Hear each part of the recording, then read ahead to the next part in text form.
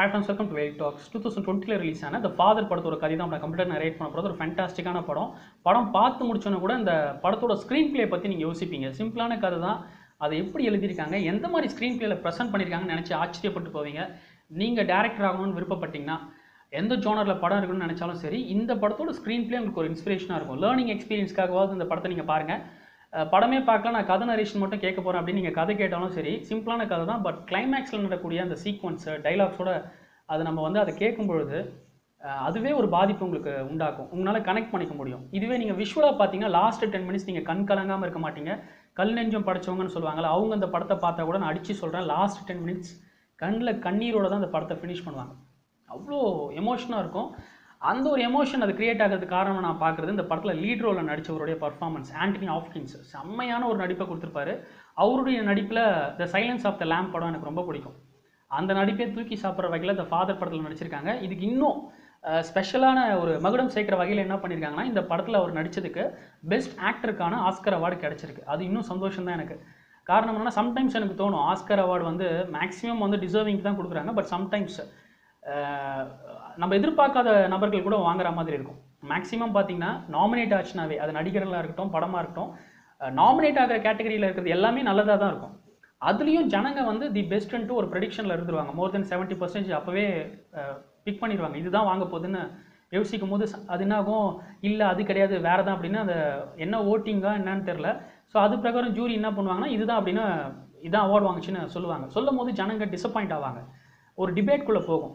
இது சரியா சரியில்லையா அப்படின்ட்டு. எந்த காலத்துக்கும் அதை அக்செப்ட் பண்ணிக்கவே முடியாது. அதை விட பெஸ்ட் இருக்கும்போது இதுக்கு எப்படி கொடுத்தாங்க அப்படின்னு. ஆனால் இந்த ஃபாதரில் ஆண்டனி ஹாப்கின்ஸோட பர்ஃபார்மன்ஸை பார்க்கும்போது யாராக இருந்தாலும் சரி அந்த டிபேட்குள்ளேயே போக மாட்டாங்க. டிசர்விங் கரெக்டாக சேர்த்துருக்காங்க அவார்டை அப்படின்னு நினைப்பாங்க. இன்னும் ஆஸ்காருக்கு ஒரு மரியாதை தான் நமக்கு வந்து சேரும். கரெக்டாக கொடுத்துருக்காங்க அப்படின்னு. அது இன்னும் அவங்க எந்த அளவுக்கு வந்து சரியாக செஞ்சுருக்காங்கன்றதை நம்ம வந்து புரிஞ்சுக்கணும்னா இந்த படத்தோட ரைட்டிங் அந்த ஸ்க்ரீன் பிளே இருக்குல்ல ரெண்டு அவார்டு வாங்கிச்சு இந்த படம். ஒன்று ஆக்டிங்க்கு இன்னொன்று இந்த ஸ்க்ரீன் பிளே அந்த ரைட்டிங்க்கு அந்த ரெண்டுத்துக்கான அவார்டு இந்த படம் வாங்கியிருக்கு. சரியாக கொடுத்துருக்காங்க. அதுதான் ஸ்பெஷாலிட்டியே ஆஸ்கர் மேலே ஒரு மரியாதை சேர்ந்துருக்கு எனக்கும். அஹ் ஆண்டனி ஹாப்கின்ஸோட பர்ஃபார்மன்ஸை நான் ஃபஸ்ட்டு சீன்லேருந்து லாஸ்ட் வரைக்கும் பார்த்து பிரமிச்சு போனேன். ரசிச்சும் பார்த்தேன். அதுவும் நம்ம லைஃப்பில் பார்த்தீங்கன்னா ஏகப்பட்ட பெரியவங்களை நான் பார்த்துருக்கேன். வயசானதுக்கப்புறம் அவங்க எந்த மாதிரி நடந்துப்பாங்கன்ட்டு எனக்கு ரியல் லைஃப் எக்ஸ்பீரியன்ஸும் உண்டு. ரியலில் நம்ம அந்த மாதிரி பார்த்துருக்கும் போது ஸ்க்ரீனில் ஒரு மனுஷன் ஆண்டனி ஹாப்கின்ஸ்க்கும் வயசாயிடுச்சு. வயசானவர். ஏன்னா சினிமா இண்டஸ்ட்ரியில் பல வருஷமாக அவங்க கான்ட்ரிபியூட் பண்ணிட்டு இருக்காங்க. படத்தில் கதாபாத்திரம் வயசானவர் கதாபாத்திரம். நம்ம ரியல் லைஃப்பில் என்னென்ன விஷயங்கள் பார்த்துருக்கோமோ அதே மாதிரி தான் அந்த கேரக்டர் பண்ணுது. அப்படியே ஒன்றி போய் நான் வந்து பார்த்தேன். அதுலேயும் படம் என்னை வந்து சிரிக்க வைக்குது சில இடங்களில் சில இடங்களில் வந்து அழ வைக்குது சிந்திக்க வைக்குது. கிளை அந்த ஸ்க்ரீன் பிளேவை நினச்சி ஆச்சரியப்பட வைக்குது. அவ்வளோ விஷயங்கள். ஆக்சுவலாக இதில் வந்து ரியல் லைஃப்பில் பார்க்குற விஷயங்கள் ஸ்க்ரீனில் வந்து காமிக்கிறதுனா எந்த அளவுக்கு வந்து அவங்க ரைட்டிங் பண்ணியிருக்காங்க அந்த ஸ்கிரிப்ட் எழுதியிருக்காங்கன்னா வயசானவங்க பார்த்தீங்கன்னா ஒரு பதட்டத்தோடயே இருப்பாங்க. திடீர்னு கோவப்படுவாங்க திடீர்னு வந்து அழுவாங்க திடீர்னு ஜாலியாக இருப்பாங்க. ஸோ எல்லாமே ஒரு மூட் ஸ்விங் வந்து அவங்களுக்கு வந்துட்டே இருக்கும். அதுவும் டெமென்ஷியா அப்படின்ற ஒரு ப்ராப்ளம் இருந்துச்சுன்னா அவங்க வந்து மறந்து ஞாபக மறதி இந்த மாதிரி விஷயங்கள்லாம் இருக்கும். ரியல் லைஃப்லேயும் வந்து சில பெரியவங்கள்லாம் இருப்பாங்க. அவங்களுக்கு வாழ்க்கையில் நடந்த முக்கியமான நிகழ்வுகளே மறந்து போயிருக்கும். அவங்க வீட்டில் பொண்ணோ பையனோ இறந்து போயிருந்தா கூட அவங்களுக்கு அது ஞாபகம் இருக்காது. அவங்கள பொறுத்த வரைக்கும் என்னன்னா பொண்ணு வந்து வேலைக்கு போயிருக்கு. வரும் என்னைக்கு இருந்தாலும் அப்படின்னு வெயிட் பண்ணிட்டு இருப்பாங்க. இறந்த விஷயம் கூட ஞாபகம் இருக்காது. அதே மாதிரி அவங்கள இப்போ கரண்ட்டில் சில பசங்க வந்து பா பத்திரமா பார்த்துப்பாங்க. பார்த்துட்டு இருக்க பசங்ககிட்டே எரிஞ்சு விடுவாங்க. என்ன எதுக்கு நீ பார்த்துருக்க எனக்கெல்லாம் எவ்வளோ தேவையில்ல நானே வந்து என்னை பார்த்துப்பேன் அப்படின்னு பேசுறது. இதே வேற ஒரு நபர்கிட்ட அவங்க வந்து பேசும்போது என் புள்ளெல்லாம் எதுக்கு எனக்கு சோறு போடுது? என்கிட்ட சொத்து இருக்குன்னு தான் சோறு போட்டுனுக்குது. இல்லைனா இவனுங்கெல்லாம் எதுக்கு என்ன பார்க்க போகிறாங்க அப்படின்லாம் வந்து பேசுவாங்க. இந்த விஷயம் பக்கத்தில் பசங்க இருக்கும்போதே அவங்க காதில் விழும்போது வருத்தப்படுவாங்க. என்ன இப்படிலாம் பேசுகிறாங்க அதே பேரண்ட் என்ன பண்ணுவாங்க? திடீர்னு ரியல் லைஃப்பில் பெருமிதமாக நினைப்பாங்க. நீ என்ன நல்லா பார்த்துக்கிறியா? நல்லா பார்த்துக்கிறேன்னு சொல்லி ஆனந்த கண்ணியில் அவங்க பசங்க கிட்ட வந்து பேசுவாங்க. நல்லா பார்த்துக்கிற. அப்படிலாம் சொல்லுவாங்க. மாதிரி ஏகப்பட்ட விஷயங்கள். இன்னொன்று பெரியவங்களுக்கு வச்சது எல்லாமே மறந்து போயிடும் ஒரு பொருள் ஒரு இடத்துல வச்சாங்கன்னா அதை மறந்துடுவாங்க தினமும் ஒரே இடத்துல தான் வச்சுட்டு இருப்பாங்க. அது ஒரு வேலையாக இருக்கும் அவங்களுக்கு. வச்சதை மறந்துட்டு வேறு இடத்துலலாம் தேடிட்டு இருக்கிறது. அதுவும் அவங்க வந்து இதுக்கு முன்னாடி அவங்க சொந்த வீட்டில் இருந்திருப்பாங்க. அதுக்கப்புறம் அவங்க பசங்க வள பார்த்துக்கிறாங்கன்னா அவங்க வீட்டுக்கு வந்துட்டாங்கன்னு வச்சுக்கோங்களேன். வந்ததுக்கப்புறம் இன்னும் கூட அவங்க வீட்டிலேயே தங்கிட்டு இருக்குதா நினைப்பு. என் வீட்டிலே இருந்து என்னையே இப்படி பண்ணுறீங்க அப்படின்னு நினைக்கிறது. அதுக்கப்புறம் அங்கே இருக்கிற ஃபர்னிச்சர்லாம் அவங்களுக்கு மாறிடும் எல்லாமே என்ன மாறிட்டு இருக்கு நம்ம வீட்டில் இருந்து இப்படிலாம் மாற்றிருக்காங்களே நம்ம கிட்ட சொல்லாமல் எதுக்கு இதெல்லாம் பண்ணுறாங்க அப்படின்னு வந்து நினைப்பாங்க. அவங்களுக்கு பார்வைக்கு அப்படிதான். ஒரு ஒரு வாட்டியும் ஒரு ஒன்று பார்க்குறது புதுசு புதுசாக இருக்கும். ஆனாலும் பழசில் இருக்கிற விஷயங்களும் அவங்களுக்கு வந்து வந்து வந்து போகிற மாதிரி இருக்கும். பக்கத்தில் பேசியிருக்கிறது பசங்களையும் அவங்ககிட்ட பேசினா கூட அவங்களுக்கு வந்து ஞாபகம் இருக்காது. இப்போ இப்போ தான் இப்போ அவங்ககிட்ட ஒரு விஷயம் சொன்னேன்னா ஆ சொன்னேன். அப்படின்ற மாதிரி தான் ஞாபகம் இருக்கும். ஸோ இந்த மாதிரி விஷயங்கள்லாம் வந்து இந்த படத்தில் அழகாக கேப்சர் பண்ணியிருப்பாங்க. இந்த கதை உங்களுக்கு நிச்சயமாக பிடிக்கும். படத்தை நீங்கள் விஷுவலாக பாருங்கள் மிஸ் பண்ணாமல் பாருங்கள் பட் கதை நரேஷனும் நீங்கள் வந்து கேளுங்க. ஏன்னா இந்த படத்தை வந்து சில விஷயங்கள் நீங்கள் மிஸ் பண்ணியிருக்கலாம் மிஸ் பண்ண விஷயங்களை கூட இந்த நரேஷன் மூலயமா இன்னும் கூடுதலாக உங்களுக்கு தெரிய வாய்ப்புகள் உண்டு. வாங்க இப்போ படத்தோட கதனான்னு சொல்லி கேட்போம். கதைக்குள்ளே போயிடலாம். படத்தில் நான் கதாநாயகனோட பேர் ஆண்டனி. ஆண்டனி ஹாப்கின்ஸ் சார் தான் ஆண்டனின்ற பேரில் வந்து இருப்பாங்க. அவருக்கு ரெண்டு பொண்ணு. ஒரு பொண்ணோட பேர் ஆனை முதல் பொண்ணு. ரெண்டாவது பொண்ணோட பேர் லூசி. லூசி ஆக்சிடெண்ட்டில் இறந்து போயிருப்பா. அவர் ஒரு பெயிண்டர் ஆக்சுவலாக இறந்து போயிருப்பா. இறந்த விஷயம்லாம் அவருக்கு வந்து தெரிஞ்சாலும் அந்த ஞாபகம் இல்லை. இப்போ மறந்துடுச்சு பெயிண்டர்ன்றது மட்டும் அவருக்கு வந்து தெரியும். ஏன்னா வீட்டில் லூசி பொண்ணு வரைஞ்ச ஒரு பெயிண்டிங் இருக்கும். ஃப்ரேம் போட்டு அதை வந்து மாட்டி வச்சிருப்பாரு. ஸோ அது மட்டும் அவருக்கு ஞாபகம் இருக்குது அவரை பொறுத்த வரைக்கும் என்னன்னா பொண்ணு பெயிண்டர். ஊர் ஊராக வந்து போனோம் ப்ரொஃபஷன் அந்த மாதிரி. அதனால தான் நம்மளை உடனே உடனே பார்க்க மாட்றா. வருவா அப்படின்னு வெயிட் பண்ணுவார். இந்த ஆன் பொண்ணு தான் அவங்க அப்பாவை வந்து பார்த்துக்கிறது. ஆனாலும் ஆன் அவங்க அப்பா கூடவே இருக்க மாட்டா. அவர் மட்டும் தனியாக ஒரு ஃப்ளாட்டில் வந்து இருப்பார். அவருடைய சொந்த ஃப்ளாட்டு பொண்ணு என்ன அரேஞ்ச்மெண்ட் பண்ணுவார்னா ஆனு அவருக்கு பார்த்தீங்கன்னா கல்யாணம் ஆகிருக்கு ஏற்கனவே ஜேம்ஸ் அப்படின்ற ஒரு நபர் கூட. கல்யாணம் ஆகி விவாகரத்து ஆகிடுச்சு அஞ்சு வருஷம் ஆயிடுச்சு விவாகரத்து ஆகி. இன்னொருத்தரை வந்து அவள் லவ் பண்ணுறா அவனை வந்து கல்யாணமும் பண்ணிப்பான் ஸோ அதெல்லாம் வந்து லேட்டர் பாட்டில் அந்த கதையில் வரும். ஸோ இந்த ஆன் வந்து என்ன பண்ணுவா அவங்க அப்பா ஃப்ளாட்டில் இருந்தாருன்னா அவரை பார்த்து ஒரு ஆள் அப்பாயிண்ட் பண்ணும்ல. ஒரு கேர் டேக்கரை வந்து அப்பாயிண்ட் பண்ணுவாள் இது வந்து என்ன ஆகும் அவர் அவள் எப்போ ஒரு கேர் டேக்கர் அப்பாயிண்ட் பண்ணாலும் அவர் வந்து ரொம்ப நாள் அவங்க கூட இருக்க மாட்டார். ஏன்னா அந்த மனுஷனுக்கு எப்படின்னா பக்கத்தில் ஒரு நபர் பேசினாவே அவங்க சந்தேக கண்ணோட்டத்தோட வேற பார்ப்பார். அவங்கள ஃபஸ்ட் டைம் பார்க்குற மாதிரி நினைப்பார். யாரோ ஒருத்தவங்க வந்து அவங்களுக்கு டேப்லெட் கொடுத்துருக்காங்கன்னு வச்சுக்கோங்களேன். இவரை கேர் டேக்கர் பத்திரமா பார்த்துக்கணும் ஆண்டனி தாத்தாக்கு வந்து பத்திரமா மருந்தெல்லாம் கொடுத்து பார்த்துக்கணும் அடுத்த நாள் அவங்க வீட்டுக்கு வந்தாங்கன்னா இவர் என்ன நினைப்பாங்க திருட வந்திருக்கான் அப்படின்னு சொல்லி அப்படி பார்ப்பாரு. யோ அவர் நேற்றே வந்து உனக்கு டேப்லெட் கொடுத்தாரு. அதெல்லாம் அவர் ஞாபகம் இல்லை. திருட வந்திருக்க அப்படின்னு அந்த சந்தேகம் கண்ணத்தோட பார்க்கறனால அவங்க வந்து ஃபிசிக்கலாக த்ரெட்டன் பண்ணுறது பயமுறுத்துறது அச்சிரும் வச்சிரும்லாம் சொல்லி மிரட்டி விடுறது இப்படிலாம் வந்து பண்ணுவார். ஸோ இப்படி தான் அந்த ஆண்டனி தாத்தாவுக்கு வந்து ஏஞ்சலான்ற ஒரு பொண்ணை இந்த ஆன் பொண்ணு என்ன பண்ணுறோம் சிபாரிசு பண்ணியிருக்கோம். போய் நீங்கள் அந்த கேர் டேக்கரை அப்பாவை பார்த்துக்கோங்க அப்படின்னு. அந்த பொண்ணை இவர் வந்து மிரட்டியிருப்பார். ஃபிசிக்கலாக த்ரெட்டன் பண்ணியிருப்பார். பயமுறுத்தணும்னா அது வீட்டை விட்டு வெள்ள வெளில ஓடி வந்து ஆனுக்கு ஃபோன் பண்ணியிருக்கோம். ஆன் பக்கத்தில் தான் கொஞ்சம் தள்ளி தள்ளி தான் தங்கியிருப்பா. அவங்க அப்பா கூடவே வந்து கிடையாது. ஃபோன் பண்ணோன்னா அவள் அலறி அடிச்சுட்டு வருவாள் ஏன்னா அப்பா வந்து இந்த மாதிரி இந்த பொண்ணு வந்து இதுக்கப்புறம் பார்த்துக்க மாட்டேன்னு சொல்லுவோம் உங்கள் அப்பா இப்படிலாம் வந்து நான் ஃபிசிக்கலாக த்ரெட்டன் பண்ணுறாரு அவர் கூடலாம் நான் இதுக்கப்புறம் இருக்க மாட்டேன். கேர் டேக்கரும் நான் கிடையாது. நான் கிளம்புறேன்னு சொல்லி ஓடி போனோன்னே அவளுக்கு ஒரு ஆதங்கம் வேறு விரக்தி வேறு. இந்த ஆளுக்கு எத்தனை பேர் அப்பாயிண்ட் பண்ணாலும் இவர் வந்து அப்பா அவங்க கூட இருக்க மாட்டுறாரு எதுக்கு இப்படி பண்ணியிருக்காரு அப்படின்னு தெரிஞ்சுக்கணும் அங்கேருந்து விறுவிறுன்னு வருவா. வந்து காலிங் பெல் அடிச்சு பாப்பா. எந்த ரெஸ்பான்ஸும் இருக்காது. ஆக்சுவலாக அந்த ஆண்டனி தாத்தா அந்த தமிழ் சமயத்தில் என்ன பண்ணிட்டு இருப்பாருன்னா ஹெட்செட் போட்டுக்கிட்டு பாட்டு கேட்டுட்டு இருப்பார் சீடியெல்லாம் போட்டு. ஆக்சுவலாக எப்பவுமே அவர் ஒரே பாட்டு தான் கேட்பாருன்னு வச்சுக்கோங்களேன். ஒரு வாட்டி அந்த பாட்டு கேட்டாலுமே அவர் அடுத்த வாட்டி கேட்கும்போது புதுசாக இருக்கும். இப்படி கேட்டு கேட்டு அந்த சீடியை தேய்ச்சி போட்டிருப்பாரு. ஆனால் அது தேஞ்சது கூட அவருக்கு வந்து தெரியாது. ஒருவேளை அந்த சீடியை தொடச்சி போட்டால் நல்லா பாட்டு கேட்க போகிறேன்னு அதை எடுத்து தொடச்சி அப்படி வந்து போட்டு கேட்டுட்டு இருக்க ஒரு டைப் தான் இந்த ஆண்டனி தாத்தா. ஹெட்செட் போட்டு கேட்டுட்டு ஆன் வந்து ரியலைஸ் பண்ணுவான் அது வந்து லாக்கெல்லாம் வந்து ஓப்பனில் தான் இருக்குது அப்படின்னு வந்து தெரிஞ்சோன்னா அவர் வந்து அவள் உள்ளே நுழைவான் இங்கே தான் இருக்கீங்களாப்பா? அப்படின்னு வந்து கேட்பா இவர் என்ன பண்ணுவார்? ஹெட்செட் எல்லாம் வந்து அவுத்துட்டு நீ எதுக்கு இங்கே வந்தேன்னு வந்து கேள்வி கேட்பாரு அவன் ஏன்னா இங்கே ஒன்றுமே நடக்கலைன்ற மாதிரி அவருடைய நினைப்பு. ஆனால் அவர் வந்து ஒரு பொண்ணை மிரட்டி அமுச்சு விட்ருக்காரு அதனால தான் கோவப்பட்டு இங்கே வந்திருக்கு. அவள் கேட்பேன் ஆன் ஒன்றுமே நடக்கல எங்கே அப்படின்னு வந்து கேட்பா ஒன்றுமே நடக்கலையே அப்படின்னு அவர் வந்து சொல்லுவார். ஒன்றுமே நடக்கலையா? ஒன்றுமே நடக்கலன்னா எதுக்கு ஏஞ்சல் எனக்கு ஃபோன் பண்ணி இப்படியெல்லாம் சொல்கிறா ஃபிசிக்கலாக வேறு நீங்கள் த்ரெட்டன் பண்ணியிருக்கீங்களா அவளை? அப்படின்னு கேட்டால் அவர் என்ன சொல்லுவார்? அவள் எதுக்கு இங்கே வந்தா? யார் இந்த பொண்ணு? எதுக்கு இங்கே வந்தா? அப்படின்னு வந்து கேட்டால் அவங்க சொல்லுவா அவங்க வந்து கேர் டேக்கரு உங்களை பார்த்துட்டு தான் அவள் வந்து இங்கே இருக்கா? அப்படின்னு எனக்கு யாரும் தேவையில்ல எனக்கு யாரும் தேவையில்ல. அவளை பார்த்தாவே எனக்கு வந்து சந்தேகமாக இருந்துச்சு. எனக்கு என்னவோ அவள் வந்து இங்கே திருடு தான் வந்தான்னு தோணுச்சு. அதனால தான் நான் வந்து துரத்தி அமிச்சேன் அப்படின்னு வந்து சொல்லுவார். திருட வந்தாளா? யார்? ஏஞ்சலா ஆமாம் அப்படின்னு அவர் சொல்லுவார். சொல்லிட்டு இப்போ அவர் கையில் எப்பவுமே வாட்ச் கட்டிகிட்டு இருப்பார். இப்போ அந்த வாட்ச் காணுமா? இந்த வாட்சை ஒரு ட்ராப் மாதிரி நான் பயன்படுத்தினேன். இதை அவள் கண்ணு படுற மாதிரி வச்சு அவள் திருடுறாளேன்னு நான் சோதிச்சு பார்த்தேன். அதே மாதிரி ஒரு இடத்துல நான் வச்சேன். இப்போ வாட்ச் காணும். அநேகமாக அவள் தான் திருடிட்டு போயிருப்பா. அதனால தான் இந்த சீன் கிரியேட் பண்ணுறான்ற மாதிரி சொல்லுவார். வாட்ச் எங்கே வச்சீங்க? காணும்னு சொல்கிறீங்கன்னா எங்கே வச்சீங்க? எங்கே வச்சேன்னு ஞாபகம் இல்லை. ஆனால் வீடு ஃபுல்லாக தேடி பார்த்தேன். இப்போ வாட்ச் இல்லை. அப்போ அவள் தான் எடுத்துகிட்டு போட்டா அதான் சொல்லுவார். இதுக்கப்புறம் அந்த லிட்டில் பிச் இங்கே தேவையில்ல. அவளை மாதிரி ஒரு திருடரெல்லாம் எனக்கு கேர் டேக்கராக பக்கத்துலலாம் வச்சுக்கணும் விருப்பம் இல்லை அப்படின்னு வந்து இவர் கெத்தாக பேசுவார். பேசும்போது ஆன் சொல்லுவா அப்பா உங்கள் வாட்சை எல்லா இடத்துலையும் தேடினீங்க. அந்த பாத்தை குளிப்பீங்கள்ல அந்த இடத்துல பைப் இருக்கும்ல அந்த இடத்துல தேடி பார்த்தீங்களான்னு சொல்லுவாள் அந்த இடத்துல தேடி பார்த்தீங்கன்னா அங்கே ஒரு தேடி பார்க்கல. ஏன் அங்கே தேடி பார்க்க சொல்கிறேன்னா உங்களுடைய வேல்யூபிள்ஸ் எல்லாம் உங்களுடைய முக்கியமான ஒரு ப்ரெஷியஸான விஷயங்கள்லாம் அங்கே தான் இவர் வந்து வைப்பார் போல். அங்கே தான் இருக்கும். நீங்கள் போய் பாருங்கன்னா அந்த இடத்துல இருக்கணும் உனக்கு எப்படி தெரியும்? அதுவும் என் வேல்யூபிள்ஸ் எல்லாம் அங்கே தான் வைப்பேன் உனக்கு எப்படி தெரியும்னா எனக்கு தெரியும்ப்பா அப்படின்னு சொல்லுவா. சரி நான் போகிறேன் அப்படின்ட்டு ஆண்டி என்ன பண்ணுவார்? அந்த இடத்துக்கு போவார். போனோன்னா அவருக்கு கிடச்சிரும். வாட்சை மாட்டிப்பார். வாட்சை மாட்டிட்டு அப்படியே வந்து ஹாலில் உட்காந்து டிவியை பார்த்துட்டு இருப்பார். இவர் மறந்துட்டாரு. இவர் போனது வாட்சை மாட்ட. யார் சொல்லி வாட்சையை போட போனாருன்னு அது வந்து மறந்துட்டார். போட்டோன்னா அவர் அவ்வளோதான் வேலை முடிஞ்சிச்சு. வீட்டில் பொண்ணு இருக்குன்னு கூட ஞாபகம் இல்லாமல் டிவி பார்த்துட்டு இருப்பாரு. ஆன் வந்து பேசுவா அப்பா வாட்ச் கிடச்சிச்சா? அப்படின்வா ஆ ஓ கிடச்சிச்சுமா? ஆனால் ஒன்று நல்ல வேலையை அங்கே வச்சேன். இதே அவள் கண்ணுக்கு படுற மாதிரி வச்சேன்னா போயிருக்கோம் போய் சேர்ந்துருக்கோம். நல்லதாக போச்சு அங்கே வச்சேன்னு அப்படி தான் சொல்லுவார். சொன்ன உடனே வந்து பேசுவாள் இப்படியே நீங்கள் வந்து ஒவ்வொரு வாட்டியும் நடந்துருந்தா எப்படிப்பா? நான் வேற வந்து பாரிஸ்க்கு போகலான்னு இருக்கேன் அந்த லண்டனை விட்டு. என் பாய் ஃப்ரெண்டோடன்னு வந்து சொல்லுவாள் இவரை பொறுத்த வரைக்கும் ஜேம்ஸ்ன்றவனை கல்யாணம் பண்ணி அப்படியே தான் வாழ்ந்துட்டு இருக்கான்னு நினச்சிட்டு இருக்காரு. அவனோட டிவோர்ஸ் எல்லாம் ஆயிடுச்சு.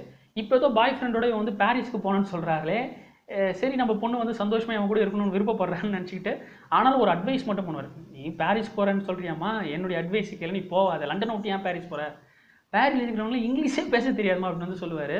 ஆனால் அவருடைய பிரச்சனை அது கிடையாது. அவங்க போகணுன்னு தான் நினைக்கிறா.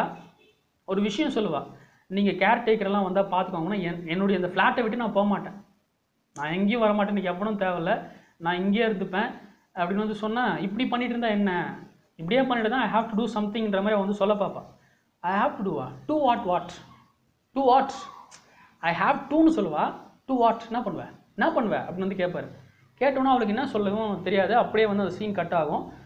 கேமரா என்ன காமிப்பாங்கன்னா இந்த ஆண்டனி தாத்தா ஜன்னலில் அந்த ஸ்க்ரீனை வந்து என்ன பண்ணுவார்? இது இது பண்ணிவிட்டு ஜன்னல் வழியாக கீழே பார்ப்பார் அவருடைய ஃப்ளாட்டில் இருந்து. கீழே அவருடைய பொண்ணு வந்து நடந்து போயிட்டுருப்பாங்க ஸோ இதுதான் வந்து காமிப்பாங்க. ஆக்சுவலாக என்ன நடந்திருக்குன்னா இந்த பொண்ணு வந்து அவங்க அப்பாவை அவருடைய ஃப்ளாட்டுக்கு கூட்டு போயிருப்பா. இதெல்லாம் சில சம்பவங்கள்லாம் நடக்கும். நான் ஸ்ட்ரைட்டாகவே இப்போ கிளைமேக்ஸ்க்கு வந்து போயிடுறேன். ஏன் கிளைமேக்ஸ் போகிறன்ற விஷயங்கள் நான் வந்து சொல்கிறேன் ஏன்னா அந்த படத்தில் ஆரம்பத்தில் நடந்த விஷயம் உண்மை. கிளைமேக்ஸில் நடக்கிற விஷயமும் உண்மை. நடுவில் அந்த படத்தில் வந்து நீங்கள் பார்க்கும்போது ஸ்க்ரீன் ப்ளே நான் சொன்னேன் இல்லையா? பியூட்டிஃபுல்லாக ஹேண்டில் பண்ணியிருப்பாங்க. அந்த விஷயங்களும் உண்மை தான் ஆனால் அவர் வந்து குழப்பிப்பார். நடந்த விஷயங்களை குழப்பிப்பார். எப்படி குழப்பிப்பாருன்றனா இப்போ நான் இருக்கேன் உங்ககிட்ட பேசிகிட்டு இருக்கேன். எனக்கு வந்து ஒரு ப்ராப்ளம் இருக்குன்னு வச்சுக்கோங்க. எனக்கு வந்து டெமின்ஷியா எனக்கு வந்து எல்- எல்லாமே மறந்துடும் இப்போ நான் உங்ககிட்ட பேசிகிட்டு இருக்கேன். உங்கள் முகம் இதுதான். உண்மையான முகம் இது. ஃபஸ்ட் டைம் பேசும்போது நான் வந்து இதுதான் பேசுகிறேன் அடுத்த நாள் நான் வந்து பேச வரும்போது உங்கள் முகமே எனக்கு வேறு மாதிரி தெரியுது. நான் வந்து உங்ககிட்ட பேசவே இல்லையே. உங்களை நான் பார்த்ததே இல்லையே அப்படின்ற மாதிரி ஒரு ஃபீல் எனக்கு.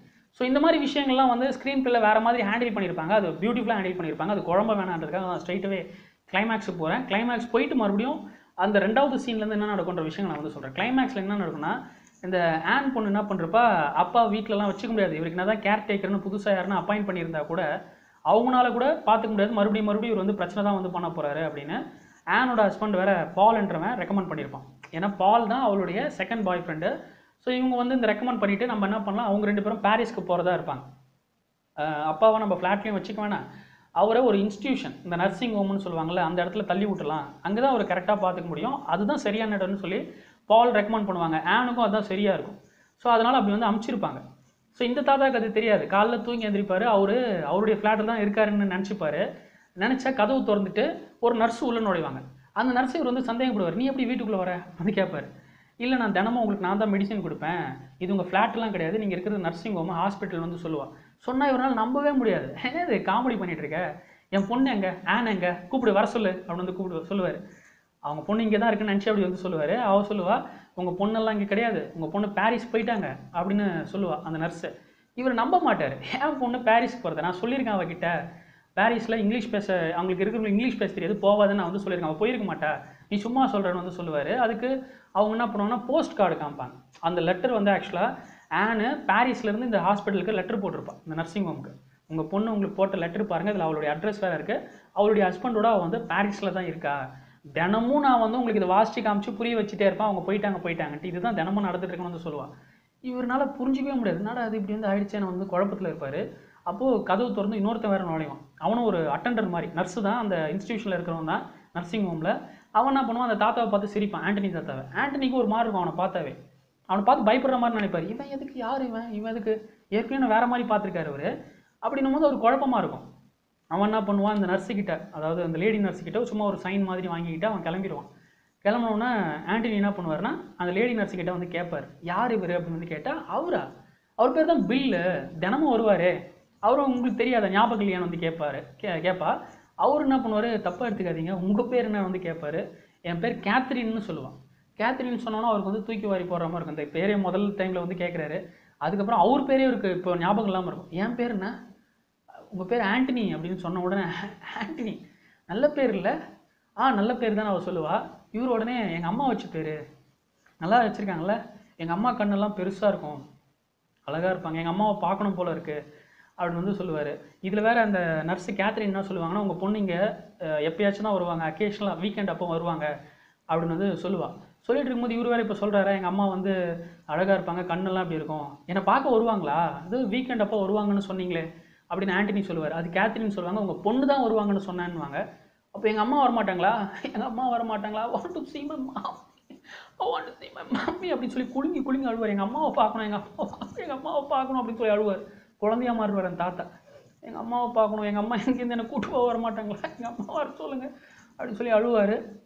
அழுதுட்டு அவர் என்ன சொல்லுவார்னா எல்லாமே போச்சுன்ற மாதிரி அவர் வந்து ஃபீல் பண்ணுவார். என்னுடைய பிரான்ச்சஸில் லீவ்ஸ் எல்லாம் உதிருது அப்படின்வார் அவளுக்கு புரியாது கேத்ரினுக்கு. ஏன்னா பிரான்ச்சஸ்னால் ஒரு ஒரு மரம் மாதிரி அந்த மரத்தில் இருக்கிற இலைகள் எல்லாம் உதிருதான். எப்படி உதிருதான்? காற்று காற்றடித்தோம் அஹ் காத்தடிச்சும் மழை அடிச்சும் வந்து உதிரி போயிருதான். இப்போ அவர் வந்து எதுவுமே இல்லைன்ற மாதிரி ஃபீல் பண்ணி பேசுவார். நான் இப்போ எங்கே தலை வச்சு படுப்பேன்? இது அவருடைய ஃப்ளாட்டு கூட கிடையாது. நான் எங்கே தலை சாய்ப்பேன்? நல்ல வேளை என் கையில் வாட்ச் இருக்கு. அவருடைய வாட்ச் கையில் இருக்கான். அதுவும் எதை ஞாபகப்படுத்துதான் உன் காலை முடிய போது ஞாபகப்படுத்துற மாதிரி இருக்கு. நான் என்ன பண்ணுவேன்? அழுது உட்காந்துட்டு அந்த தாத்தா. அந்த தாத்தா என்ன பண்ணுவா? கேத்ரின் வந்து தோளில் சாய்ச்சிக்கிட்டு அழாதீங்க அழாதீங்கன்னு கன்சோல் பண்ண பாப்பா. நீங்கள் ட்ரெஸ்ஸை மாற்றுங்க நீங்கள் ட்ரெஸ்ஸை மாற்றுங்க நம்ம வந்து பார்க் பக்கத்தில் இருக்க பார்க்குக்கு போவோம். சன் இது கூட பார்த்தீங்கன்னா நல்ல வெளிச்சமாக இருக்கும் வார்மாக இருக்கும் இந்த இது.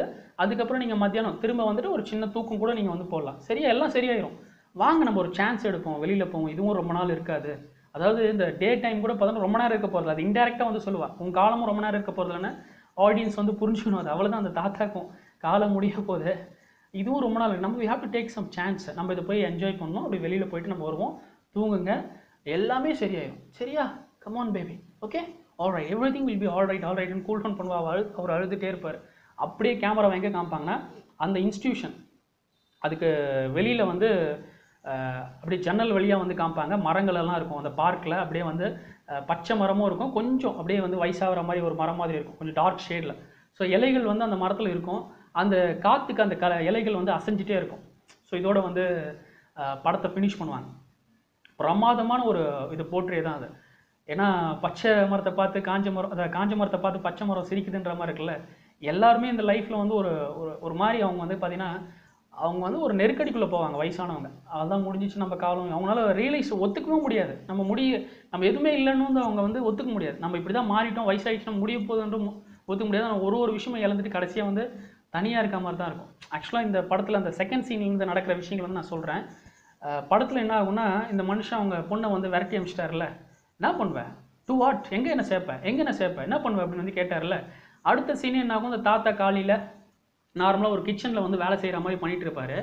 அவர் அப்படியே வந்து ஹாலில் நடந்து வந்தால் ஒரு ஆள் உட்காந்து நியூஸ் பேப்பர் படிச்சுட்டு இருக்க மாதிரி இருக்கும். யார் நீ? அப்படின்னு வந்து கேட்பார் அவனை பார்த்து யார் நீன்னு கேட்பாரு அந்த நபர் யாருன்னா இந்த ஹாஸ்பிட்டலில் வந்து கிளைமேக்ஸில் நான் சொன்னேன்ல ஒரு ஆள் பில் அப்படின்னு. அந்த பில் தான் அந்த கேரக்டர் ஆக்சுவலாக அந்த தாத்தாவோட மெமரியில் இருக்க விஷயங்களே வந்து ஃபால்ஸான மெமரி அவர் எல்லாமே மிக்ஸ் பண்ணுறாரு அவருக்கு லைஃப்பில் நடந்த விஷயங்கள் எல்லாமே குழப்பிட்டு தான் அந்த குழம்புன மெமரி தான் இப்போ அவர்கிட்ட இருக்குது உண்மையான மெமரி கிடையாது. செகண்ட் சீன்லேயே ஒரு குழம்புன மெமரி தான். அந்த அந்த பில்லை தான் இப்போ பார்த்துருப்பாரு. ஸோ பில்லை பார்த்துட்டு யார் நீ அப்படி வந்து கேட்பாரு. வீட்டுக்குள்ளே அந்த பில் உட்காந்துருக்க மாதிரி. உண்மையாகவே அது அவருடைய பில் கிடையாது. பால் அப்படின்ற ஒரு நபர். பாலை தான் இவ ஆன் வந்து ரெண்டாவதாக கல்யாணம் பண்ணிக்கிட்டான் ஸோ இப்போ அந்த தாத்தா இருக்கிறதே இந்த இந்த பால் ஆனாக இருக்கக்கூடிய அந்த ஃப்ளாட்டில் தான். அவருடைய ஃப்ளாட்டை விட்டுட்டு இங்கே வந்து கூட்டிகிட்டு வந்துட்டாங்க. அது அவருக்கு தெரியல. அவருடைய உருவம் பிரகாரம் அவருடைய நினைவில் என்ன பில் தான் அவங்க மருமகன் பால் அப்படின்னு. யார் நீ அப்படின்னு வந்து கேட்பாரு அவன் சொல்லுவான் நான் யாரா? நான் இங்கே தான் வாழ்ந்துட்டு இருக்கேன். நீ எப்படி எங்கள் ஃப்ளாட்டில் வந்து வாழ்ந்துருக்கேன் ஹலோ நான் உங்கள் பொண்ணை வந்து கல்யாணம் பண்ணிட்டேன். உங்கள் பொண்ணோட ஹஸ்பண்ட் ஆனால் என் பேர் பால். நீங்கள் தான் எங்கள் கூட இருக்கீங்கன்னு வந்து சொன்னால் அவருக்கு ஷாக்கிங்காக இருக்கும். இது காமெடியாக இருக்குது அப்படின்னும் போது அப்போ அந்த பால் என்ன பண்ணுவார்னா ஃபோனில் பேசுவார். இருங்க உங்கள் பொண்ணு வந்து ஷாப்பிங் போயிருக்கா? கிச்சன் வாங்கிட்டு வர. சாரி சிக்கன் கிச்சன் இருப்பாங்க சிக்கன் வாங்கிட்டு வர போயிருக்கேன் நான் அவளுக்கு வந்து ஃபோன் பண்ணி இன்ஃபார்ம் பண்ணணும். அப்போ வந்து என்ன பண்ணுவார்? இந்த ஆக்சுவலாக பில் உருவத்தில் இருக்கக்கூடிய பால். பில் பில் உருவம் தான் அவருக்கு வந்து தெரியுது. ஆனால் அது வந்து பால் தான் அவர் ஃபோன் பண்ணுவார். உடனே அந்த ஆன் என்ன பண்ணுவாங்க? அங்கேருந்து அலறி அடிச்சுட்டு வருவாங்க. வந்த உடனே என்ன ஆகுது அதுக்கு முன்னாடியே இவர் அந்த இவர்கிட்ட பேசுவார். அந்த பால்னு சொல்கிறாங்க இல்லையா? ஆ பால் நீங்கள் ஹஸ்பண்டா ஆக்சுவலாக என் பொண்ணு என்ன சொன்னான்னா இந்த மாதிரி பாய் ஃப்ரெண்ட் யாரோ இருக்காங்க பாரிஸ்க்கு போக போகிறேன் அதுன்னு வந்து சொன்னால் ஐயோ அந்த விஷயம் எனக்கு தெரியாது அப்படின்னு வந்து பால் சொல்லுவார். உங்களுக்கு தெரியாதா? ஐயோ நான் பாருங்க உளறிட்டேன் பாருங்க. உங்களுக்கு சொல்லியா? சரி சாரி அப்படின்னு வந்து பேசிட்டே இருக்கும்போது இவ ஆன் வந்து உள்ள நுழைவான் இந்த சமயத்தில் ஆனோட உருவம் எப்படி இருக்குன்னா இந்த கேத்ரின் இருந்தால் பார்த்தீங்களா கிளைமேக்ஸில் ஒரு மாதிரி இந்த நர்ஸு அந்த நர்ஸோட உருவம் தான் அது. ஆக்சுவலாக இது எல்லாமே இந்த நர்ஸு அந்த கேத்ரின் இந்த பில்லு இவங்களெல்லாம் வந்து தினமும் பார்க்குறாருல ஸோ அவருடைய நினைவில் ஏற்கனவே ஒரு பாஸ்டில் நடந்த விஷயங்கள் எல்லாம் இவங்களும் இன்வால்வ் ஆகிற மாதிரி அவர் வந்து கற்பனை பண்ணிக்கிறார். ஸோ அவர் என்ன பண்ணுவார்னா அந்த கேத்ரின் வந்து அப்படியே சரி ஆன் வந்து உள்ள நுழைவாங்க. கேத்ரினோட உருவம் தான். எங்கே இருக்க மாதிரி இருக்கும் நம்ம குழம்பும் என்னடா இது? இந்த தாத்தாவோட பொண்ணு வந்து ஃபர்ஸ்ட் சீனில் பார்த்தோம் கொஞ்சம் வயசானவங்களாக இருந்தாங்க அந்த ஆனு. இப்போ வந்து ஆனு. அதுவும் மார்க்கெட்டுக்கு வந்து வெளில போயிட்டு சிக்கன் வாங்கிட்டு வந்த ஆன் வந்து எங்கே இருக்காங்களேன்னு வந்து நம்ம நினைப்போம் குழம்புவோம். அதுவும் வந்து அவருனா அந்த அம்மா வருவாங்க வந்த உடனே என்ன பண்ணுவாங்க? டேட் நான் இங்கே தான் வந்து போனேன்னா அவருக்கு சந்தேகம் வரும். நீ என் பொண்ணே இல்லைன்ற மாதிரி வந்து நினைப்பாரு. அப்போது இவர் பால் என்ன பண்ணுவாருன்னா நீ சிக்கன் வாங்கிட்டு வந்திருப்ப அதை கூட நான் வந்து உள்ளே எடுத்துகிட்டு போகிறேன்னு வந்து அது வாங்கிட்டு போயிடுவார். வாங்கிட்டு போனோன்னா அவர் வந்து கேட்பார் இந்த ஆன் கிட்ட. கேத்தரின் உருவத்தில் கூட ஆனில். எங்கே அவன்? யார்? இது இந்த இதெல்லாம் வாங்கிட்டு போனானே அவங்ககிட்ட சிக்கனு அவன் எங்கே அங்கே அப்படின்னு வந்து கேட்பார் யார் வாங்கிட்டு போனாங்க டேட்? அப்படின்னு வந்து இவ கேட்பா யார் வாங்கிட்டு போனாங்களா? அதுவும் ஒருத்தன் வாங்கிட்டு போனால் அப்படின் போது நீங்கள் வந்து மாத்திரை ஒழுங்காக எடுத்துக்கோங்க அப்படின்னு சொல்லி இந்த கேத்ரின் என்ன பண்ணுப்பா மாத்திரை வந்து கொடுத்துருப்பா. அதாவது ஆன் உருவத்தில் கேத்ரின் அவர் வந்து கூல் டவுன் பண்ண பார்ப்பா இதுதான் இது ஒரு சீனை ஆக்சுவலாக அந்த படத்தில் பார்த்தீங்கன்னா முக்கியமாக நடந்த சம்பவம் என்னன்னா இந்த ஃபஸ்ட்டு இந்த ஆன் என்ன பண்ணிருக்காங்க அப்பாவோட ஃப்ளாட்டில் போயிட்டு இந்த மாதிரி ஏஞ்சலாக வந்து ஏன் துரத்துறீங்கன்னு வந்து கேட்ட உடனே இவர் செட்டு செட் ஆக மாட்டாருன்னு இவரை கூட்டு போய் அவங்களுடைய அப்பார்ட்மெண்ட்லேயே வச்சுட்டாங்க. ஆன் இந்த பால் இருக்காங்க இல்லையா அந்த அப்பார்ட்மெண்ட்லேயே இவர் வந்து வச்சுக்கிட்டாங்க அந்த ஃப்ளாட்லேயே ஸோ அப்படி வச்சுக்கணும்னா அது வந்து அவருக்கு ஞாபகம் கிடையாது. அவர் எப்பவுமே அவருடைய வீட்டில் வந்து பார்த்தீங்கன்னா இவருடைய ரெண்டாவது பொண்ணு லூசி வரைஞ்ச அந்த டிராயிங்கை தான் வச்சுட்டு இருப்பார். அவர் ஒரு பெயிண்டர்ன்றதுனால அவர் செத்தது கூட இவருக்கு வந்து இவருக்கு ஞாபகம் கிடையாது. அந்த பொண்ணு எங்கேயோ வந்து போயிருக்கு. அவள் வந்து பெயிண்டர்ன்றதால ஊர் ஊராக சுற்றணும் வரும் அப்படின்னு சொல்லி வெயிட் பண்ணிட்டு இருக்காங்க. ஒரு கேரக்டராக தான் இவர் வந்து இருப்பார். அங்கேருந்து அவருக்கு இது மாதிரிலாம் வந்து சின்ன சின்ன பிரச்சனையாக வந்து பண்ணுறதுனால அடிக்கடி இந்த பாலே யாருன்னு தெரியாமல் ஒரு மாதிரி பிஹேவ் பண்ணுறதுனால பாலுக்கும் அவருக்குமே ஒரு சின்ன ஒரு கிளாஷ் மாதிரி. அந்த தாத்தா ஆண்டனிக்கும் அவருக்கு வந்து பிடிக்கல. நிம்மதியாக வந்து இவங்க ஹஸ்பண்ட் அண்ட் ஒய்ஃப் வாழலான்னு பார்த்தா இவர் வந்து இடையூறாக தானே இருக்காரு. பொண்ணு ரொம்பவே பண்ணிட்டான் இதுக்கு மேலே நீ பண்ணுறதுக்கு என்ன இருக்குன்னு தான் பாலோட ஆர்குமெண்ட் நீ வந்து உன் சக்திக்கு மீறி உங்கள் அப்பா மேலே அவ்வளோ பாசம் வந்து காமிச்சிட்டு ஆனால் அவர் இருக்க வேண்டியதும் இது கிடையாது. நீ வந்து அந்த ஹோம் இருக்குல்ல இன்ஸ்டியூஷன் இந்த நர்சிங் ஹோம் அந்த மாதிரி இடத்துல அனுப்பிச்சா தான் வந்து கரெக்டாக இருக்கணும் அதுதான் இன்சிஸ்ட் பண்ணுவான் பால். ஆனுக்கும் எப்படி இருக்கும்னா அவங்க அப்பா பண்ணுற சில விஷயங்கள்லாம் ஒரு சீன் கூட காமிப்பாங்க. இவ அவங்க அப்பா வந்து கழுத்து நெரிக்கணும்னு பார்ப்பான். கழுத்து நெரிச்சு கொண்டுடலாமா இந்த தொந்தரவை விட்டு நம்ம போயிடலாமா? அப்படிலாம் வந்து காமிப்பாங்க. அது அவளுடைய ட்ரீமை ஏன்னா அவள் கொஞ்ச நேரத்துக்கு முன்னாடி தான் என்ன பண்ணியிருப்பான்னா சமையல் கட்டுக்கு போயிருப்பா. போன உடனே அவள் ஜன்னல் வழியாக இன்னொரு ஃப்ளாட்டில் வந்து கப்புள்ஸ் இருப்பாங்க. அது பாப்பா. அவங்க அந்யோன்யமாக வாழ்வாங்க. அவங்க அந்யோன்யமான வாழ்க்கைக்கு இந்த அப்பா வந்து ஒரு இடையூறாக இருக்க மாதிரி வந்து நினைப்பா. ஸோ அந்த மாதிரி விஷயம்லாம் நினைக்கிறதுனால தான் அவங்க அப்பாவை போட்டு தள்ளிடலாமா நினைப்பா. அந்த ட்ரீமும் வந்து அவருக்கு அப்புறம் கட் ஆயிரும்.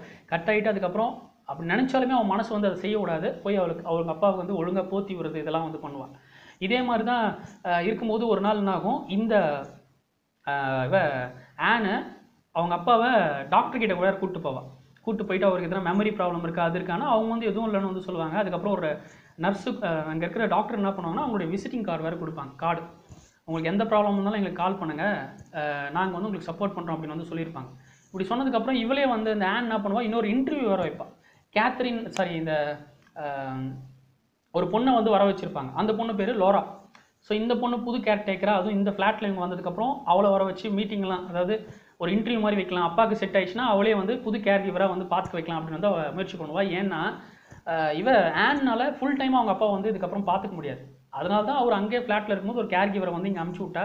இப்போ அப்பா அவங்க ஃப்ளாட்டில் வந்துட்டாங்கன்னும் போது காலையில் காலையிலேருந்து சாயங்காலம் ஆறு மணி வரைக்கும் அவளை பார்த்துக்க ஒரு அவரை பார்த்துக்க ஒரு கேர் கிவர் ஆறு மணிக்கு மேலே இவ வேலை முடிச்சுட்டு வந்ததுக்கப்புறம் இவ அவங்க அப்பாவை பார்த்துக்கிற மாதிரி. இந்த விஷயமும் பாலுக்கு வந்து பிடிக்காது. இருந்தாலும் அப்படி ஒரு பிளான் வந்து இவ பண்ணி லாராவை வந்து வர வைப்பாள் ஸோ லாராவை பார்த்தோன்னே இவருக்கு என்ன தாட் இருக்குன்னா அவருடைய பொண்ணு ஞாபகம் வந்துடும் ரெண்டாவது பொண்ணு லூசி இருக்குல்ல அந்த பொண்ணு மாதிரியே தான் அவருக்கு ஒரு ஃபீல் இந்த பொண்ணோட முகம் பார்க்கும்போது. ஃபர்ஸ்ட் டைம் அவர் வருவா வந்த உடனே அவகிட்ட பேசும்போது இவர் வந்து ஜாலியாக பேசுவார். அவருக்கு அந்த மாதிரி பிரச்சனை இருக்குன்ற மாதிரி கூட காமிச்சிக்க மாட்டார். ஆக்சுவலாக நான் ஒரு டேப் டான்ஸர்னு சொல்லி டான்ஸ்லாம் வேறு ஆடி காமிப்பார் அந்த புதுசாக வந்த பொண்ணுக்கிட்ட லோரா பொண்ணுக்கிட்ட அவ அவங்க பொண்ணு பக்கத்துலேயே வந்து இருப்பாங்க இவங்க ஆன அவர் டேப் டான்சர் வந்து சொன்னால் டேர் உங்கள் ப்ரொஃபஷனல் நீங்கள் ஒரு இன்ஜினியர்னா அது அதுவே அவருக்கு வந்து மறந்துடுச்சு. அந்த பொண்ணை இம்ப்ரெஸ் பண்ணணும் இதெல்லாம் வேற பண்ணுவார். பண்ணிவிட்டு உனக்கு என்ன வேணும்? சொல்லு சொல்லு உனக்கு என்ன வேணும்?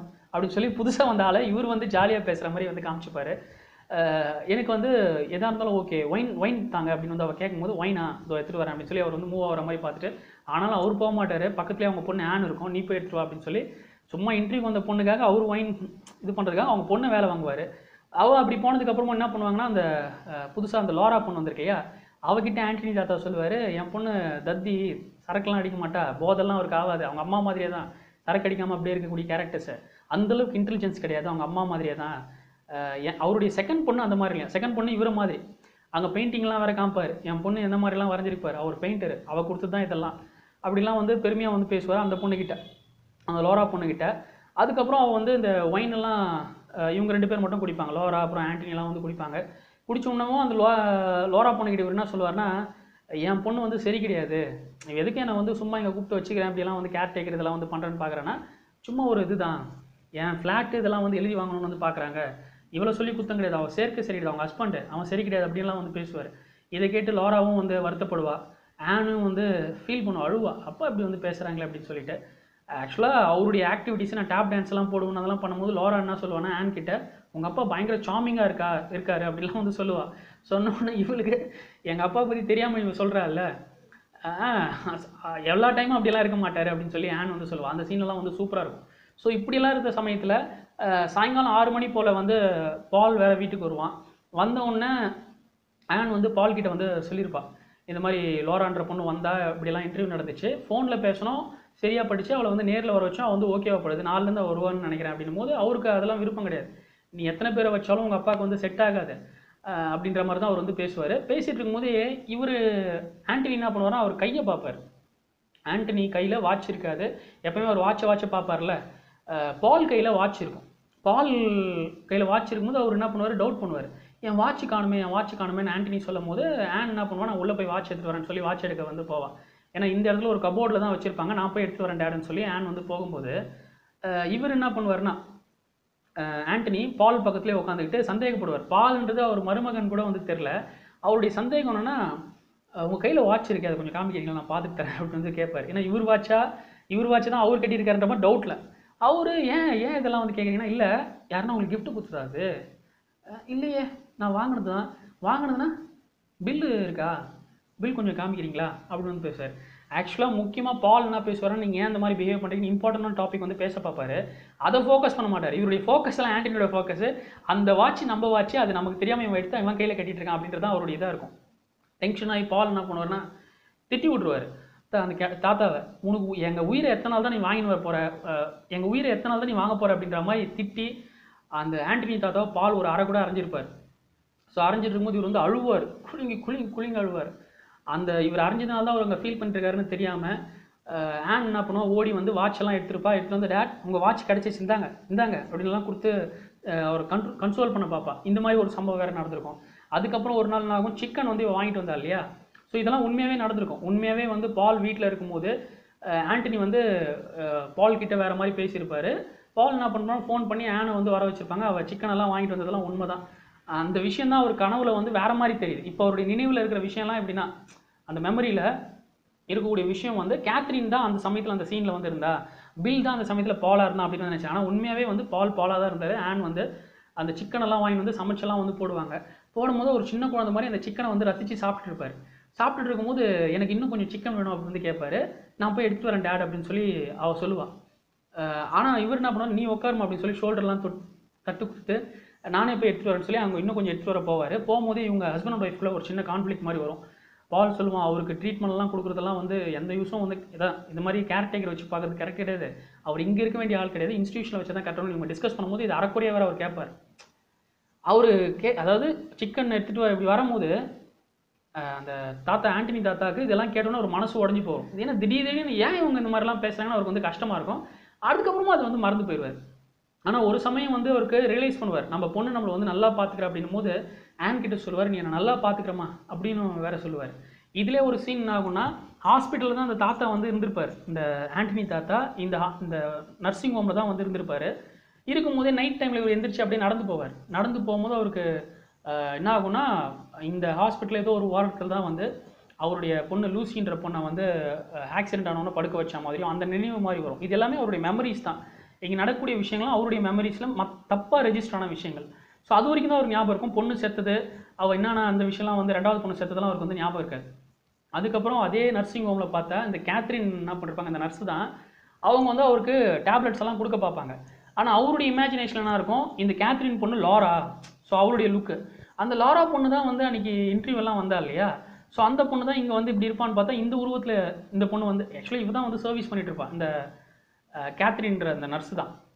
ஆனால் அவருடைய பொறுத்த வரைக்கும் இந்த லாரா தான் இன்னும் வந்து பண்ணிட்டு இருக்குன்னு அந்த உருவத்திலேயே வந்து நினச்சிட்டு இருப்பாரு.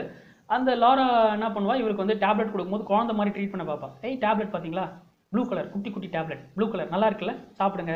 அப்படி வந்து கொடுக்க பார்க்கும்போது அவர் அவர் என்ன பண்ணுவாருன்னா உனக்கு எதனா ப்ராப்ளம் இருக்கான்னு கேட்பார் ஏன்? ஏன் கேட்குறேன்னா நான் மென்டல் மாதிரி நீ வந்து பண்ணிட்டு இருக்க. குட்டி குட்டி டேப்லெட் குட்டி குட்டி. எனக்கு ஒன்றும் கிடையாது. நீ அந்த மாதிரி பண்ணிட்டு இருக்க? உனக்கு தான் ஏதோ பிரச்சனை இருக்கிற மாதிரி அவருக்கு அவளை கலாய்ப்பார். உடனே அவன் என்ன பண்ணுவா? சரி பரவாயில்ல நீங்கள் ட்ரெஸ்ஸை மாட்டுங்க. ஏன் ட்ரெஸ்ஸை மாட்டணும்? மாட்டினா நம்ம வந்து பார்க்குக்கு போவோம் அப்படின்ற மாதிரி அந்த லோரா டைலாக் சொல்லுவாள் ஆக்சுவலாக இந்த பார்க்குக்கு போவோம் ட்ரெஸ்ஸை மாட்டுங்க இதெல்லாம் சொல்கிறதெல்லாம் பார்த்தீங்கன்னா கேத்ரின் தான். ஏன்னா அந்த ஹோமில் கூட இருக்கும்போது கிளைமேக்ஸில் அந்த டைலாக் சொன்னது அவள் தான். ஸோ இதெல்லாம் வந்து போட்டு அப்படி போவோம் அப்படின்னா வந்து டேப்லெட் கொடுத்தா நான் வந்து யானை மாதிரி ஞாபகம் இருக்கிறவன். எனக்கு எதுக்கு இதெல்லாம் வந்து நீ ஞாபகப்படுத்திட்டு இருக்க? யானை எப்படி போனோம்னா பிளிரிலாம் கப்பறோம் பிளிரி காமி. அவர் வாயில் டேப்லெட் போடுவார். சரி கையில் வந்து தண்ணி கொடுப்பா. டேப்லெட்டும் வச்சுட்டு இருப்பார். இவர் தண்ணி மட்டும் குடிச்சிருவாரு. டேப்லெட் அப்படியே வச்சுட்டு இருப்பார். நீங்கள் தண்ணி குடிச்சிட்டிங்க பாருங்கள் டேப்லெட் சாப்பிடலாம் டேப்லெட் போடுங்கன்னா சரி ஓகே அப்படின்னு சொல்லி இது வாயில் வச்சுப்பார். எனக்கு தண்ணியெல்லாம் வேணாம். காஃபி. அது எடுத்துருவா அப்படின்னு சொல்லி வாயில் போட்டு அப்படியெல்லாம் வந்து குடிச்சுக்காம இந்த எல்லா விஷயமும் வந்து பார்த்தீங்கன்னா கலெக்டிவாக நடந்து அவருடைய மெமரியில் தப்பு தப்பாக அவர் வந்து மேனிப்புலேட் பண்ண விஷயங்களை தான் வந்து விஷுவலாக காமிச்சிருப்பாங்க. படத்தில் ஆரம்பத்தில் வந்த சீனும் கிளைமேக்ஸில் வந்த சீனும் தான் வந்து நிச்சயம் இவங்க பொண்ணு சில மாதங்களாகவே இவரை வந்து அந்த ஹோமில் வந்து விட்டாச்சு. சில வாரங்களாகவே கேத்ரின் தான் அவர் வந்து அங்கே ட்ரீட்மெண்ட் பண்ணிட்டு இருக்காங்க. இந்த கேத்ரினை பில்லு இவங்கள தான் வந்து அவர் பால் கேரக்டர் அதுக்கப்புறம் அந்த சில சமயங்களில் ஆன் இந்த மாதிரிலாம் அவர் வந்து கன்ஃபியூஸ் பண்ணியிருக்காரு. அதுவும் சில சமயங்களில் வந்து லாரான்ற கேரக்டரையும் வந்து இவர் வந்து கன்ஃபியூஸ் பண்ணி இருந்திருக்காரு. ஸோ இதுதான் ஆக்சுவல் ஃபேக்ட் வயசானதுக்கப்புறம் அந்த மனுஷன் வந்து குலுங்கி குலுங்கி அழுகுது எங்கள் அம்மா கிட்ட போனோம். அதெல்லாம் அல்டிமேட்டான விஷயம். இந்த படத்தை பார்த்தா நீங்கள் கண்ணீர் சிந்தாமல் இருக்க மாட்டீங்க. இது நான் வந்து சிங்கிள் டேக்கில் நரேட் பண்ணேன். நிறைய விஷயங்கள் நானும் கன்வே பண்ணேன்னு நினைக்கிறேன்.